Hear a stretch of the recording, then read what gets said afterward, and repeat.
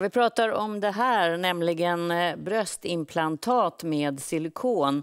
Och det görs eh, på väldigt många kvinnor estetiskt eller kvinnor som haft bröstcancer. Ungefär 40 miljoner kvinnor i världen har det och hundratusentals kvinnor rapporterar olika typer av symptom. Vad beror det på? Hänger det här ihop? Ja, det tror ju Ann-Charlotte bestämt som har blivit mycket bättre när hon opererade ut sina, som ni hörde nyss. Nu har jag bjudit in Per Hedén, docent och plastikkirurg. Eh, och du är och grundar också Akademikliniken som är en av de största. Eh, och sen bredvid det sitter Karin Cederbrandt som är docent i immuno, eh, ska vi säga, immuntoxikologi. Heter det. Immuntoxikologi. Toxikologi det heter det. Säga. Och det har med gift att göra. Vad immunförsvaret, hur det påverkas av giftiga kemikalier. kan man säga ja. så? Ja. Och du är på eh, ett forskningsinstitut, eh, halvstatligt. Då vill jag veta så här, eh, jag börjar med dig Per Edén. Kan du garantera kvinnor att det är ofarligt? Som har satt in alltså, här? Garantera att en produkt inte har någon som helst risk. Det är nästan omöjligt med vilken produkt det än rör sig om eftersom kunskapstillväxten den är ju exponentiellt genom allt vi gör. Men vi kan däremot konstatera att de här produkterna som vi använder idag, de moderna bröstimplantaten, är väldigt säkra de har en helt annan karaktär än de implantat som man använde från början där silikonen var ju flytande som sirap nästan. Mm. Medan om du tittar på det, det där implantatet så... så... är det nästan som en brieost som man har klippt ut en bit mm. ur. Geléhallon ser det ut som nästan om man tänker sig i konsistens. Men då undrar jag, hur reagerar du då på när du hör Ann-Charlotte Berglunds ja, alla det symptom? Klart, det är klart att det är väldigt, väldigt viktigt att ta de kvinnor som har besvär på allvar. Eh, det är väldigt viktigt att eh, vi fortsätter att forska och eh, utvärdera det här men jag tycker också att det är extremt viktigt att man inte skapar en hysteri kring det här eftersom det inte finns någon vetenskap och dokumentation som visar på att det finns kopplingar mellan de här symptomen och bröstimplantat. Vi ska också komma ihåg att silikon är ju en produkt som är absolut nödvändig inom medicinens värld. Ska du operera hjärtat eller kommer in på ett sjukhus, då behöver man silikon i kanyler och katetrar. Det finns i väldigt, väldigt många mm. specialiteter. Mm. Vad säger du då, Karin Cederbrandt? För, för att det är ju så att nyligen kom det en forskningsrapport att det finns en koppling till exempel till en viss typ av cancer.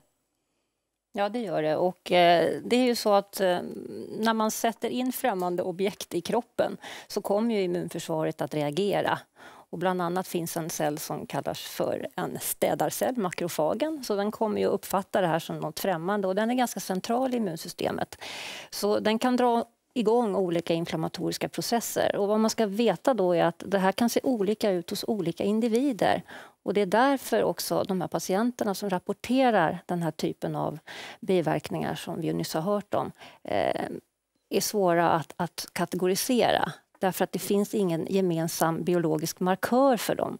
Och hur är läget då i Sverige? För där i andra länder som Frankrike som ju hade den här PP-skandalen, det är inte att jämföra med de här, den som ägde företaget sitter, fick ett fängelsestraff. Mm. Det var ju väldigt allvarligt att man fyllde de här implantaten med industriell eh, industrisilikon.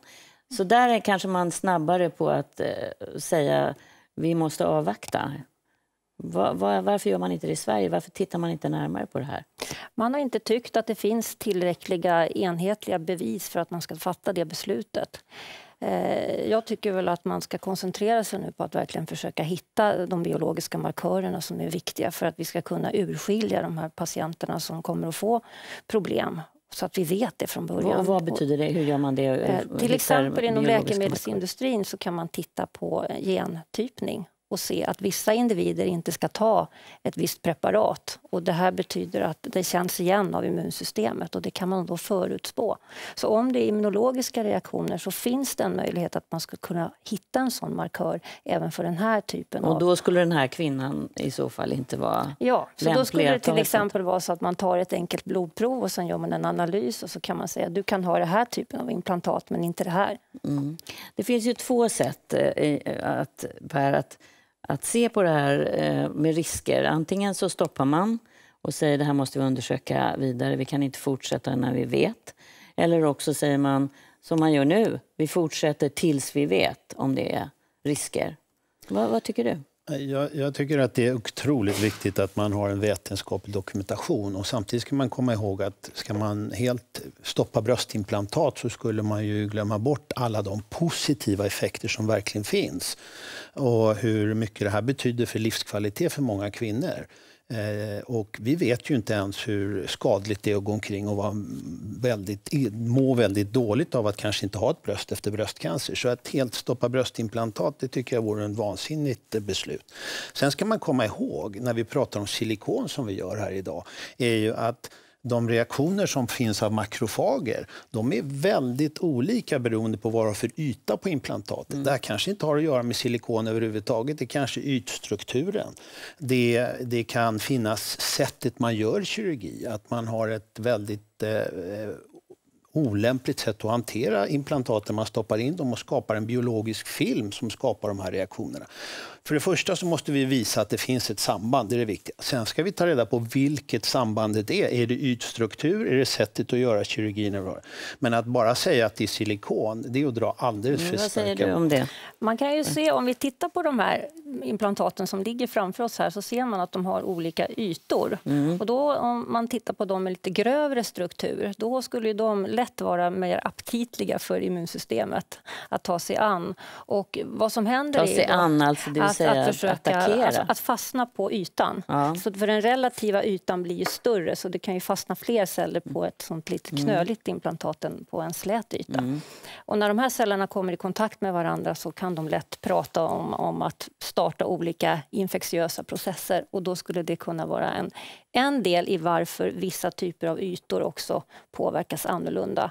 Om man ska översätta det här nu så är det så att de här med skrovlig yta, skulle de enligt vad du säger vara farligare eller mindre lämpliga? Ja, rent teoretiskt så skulle jag säga att den, den skrovliga ytan tillåter mer interaktion med immunsystemet. Mm. Samtidigt är det faktiskt så att om man tittar på en slät yta som vi har på ett implantat där och jämför det med en mycket mikroskrovlig yta mm. så har den mikroskrovliga ytan mindre makrofaginfiltration mm. än den släta har man mm. sett i studier på MIT mm. i USA. Mm. Så att det är inte så enkelt utan det har att göra med hur strukturerade ytan. Sen kan man också diskutera om man hade en ännu grövre yta som verkligen växte in i vävnaden. Skulle det vara mer fördelaktigt för, för bindväv? Det, det är ett ganska komplext förhållande och det är inte så enkelt som att säga att det är bara en skrovlig kontra en slät yta. Utan det är mycket får, mer får jag fråga dig då, har du varit med om kvinnor som kommer som Ann-Charlotte Berglund berättade och, och säger att jag är orolig jag har massa symptom som har kommit efter att jag har gjort ett sånt här implantat. Har du träffat sådana kvinnor? Eh, någon enstaka patient som har haft en del av de symptomen. Inte alls på det sättet som Ann-Charlotte eh, uttrycker mm. som. Vi ska komma ihåg att, att det är väldigt ovanligt om den här kirurgin görs på rätt sätt. Att de här vad, vad tänker du då när en sån kvinna kommer? Tänker du då att det kanske är bättre att man tar ut det här implantatet? Ja, man måste lyssna på patienten mm. och man måste diskutera alla fördelar och nackdelar det är också att göra sekundär kirurgi och ta ut implantaten. Det kan innebära att patienten kanske vill stoppa fett i bröstet istället som kompensation. Alltså det egna kroppsfettet? Ja, det, för att få bygga upp bröstet med det. Det kan också vara frågan om att en patient vill ta bort bindvävshinnan och det gör vi naturligtvis som patienten gärna vill det. Eh, men då måste vi också förstå att det är ett betydligt större ingrepp. Man måste göra mycket större snitt för att få ut hela kapseln och så vidare. Det gör vi ju när det gäller vissa sjukdomar. Då tar vi alltid ut hela hinnan och implantatet. Så det är väldigt många olika saker och patienten måste förstå fördelar, nackdelar, risker och begränsningar med olika ingrepp.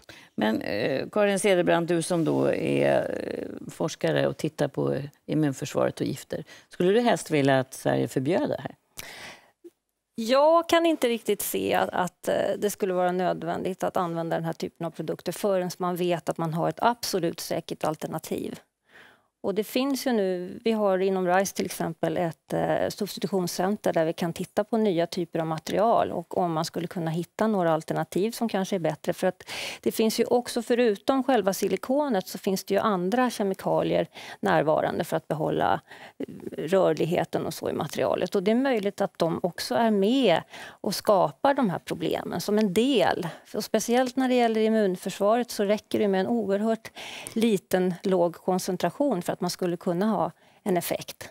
Men, men hur, hur, mycket ska man veta för att sätta ett stopp? Det är det eh, Per Edén säger här, att, Att man, man måste ha fakta för att kunna göra det. Ja, man vill helst, Vetenskapliga fakta. ja, man vill få fram de här fakta naturligtvis. Mm. Och, och det har vi inte ännu, eller hur? Inte tillräckligt för att, som jag sa tidigare, att kunna identifiera sådana personer som kommer att få problem. För det är ju det, För det är optim- på det, är det optimala, det är på individnivå. Det är det man vill kunna göra. För det finns ju också de som har, bär sådana här implantat utan att ha några problem av dem. Så vi måste hitta de biologiska Mm. mekanismer som ställer till problemen. Nästa år så införs nya EU-regler för medicintekniska produkter. Det innebär att man måste bli, det måste vara ännu mer noggrannhet kring det här. Välkomnar du det? Jag välkomnar mycket mer forskning, eh, ökad kunskap och naturligtvis ett bra regelverk som styr eh, att vi gör det här på ett optimalt sätt. Eh, Men jag tycker att det är extremt viktigt att förstå vad de positiva sidorna är för många kvinnor. Att Bara prata om att man inte skulle använda implantaten, då skulle man slå undan benen för många kvinnor som det här gör väldigt, Samtidigt har ju du sagt att det är rena vilda västern eh, på den här marknaden. Det har varit definitivt ett ganska oreglerat system när det gäller estetisk eh, medicin.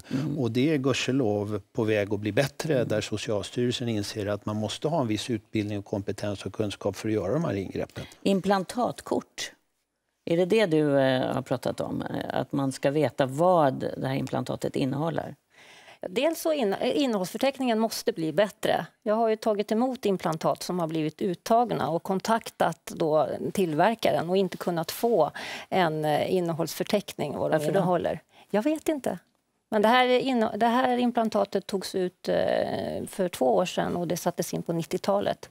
Men med de nya registren som finns nu, både i Sverige och i USA, så har man mycket bättre kontroll över det här. Men man ska också veta det, man tar ut ett äldre implantat så kan det vara oerhört svårt att få veta vad det verkligen innehåller.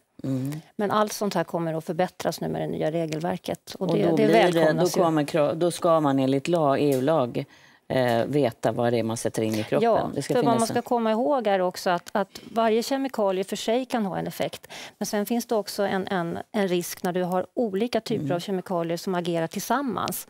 Och då kan det bli en större effekt av det Mm. än enskilt. Eh, och, och, Per eh, Hedén, är, är det här någonting du också välkomnar? Att det blir tydligare regelverk och lag? Abs- absolut. Jag tycker allt, allt vi kan göra för att eh, säkerställa eh, den här kvaliteten på vad vi gör är viktigt för patienterna. Och det här med ett implantatkort, vilket implantat patienten har, det ska alla patienter ha redan idag.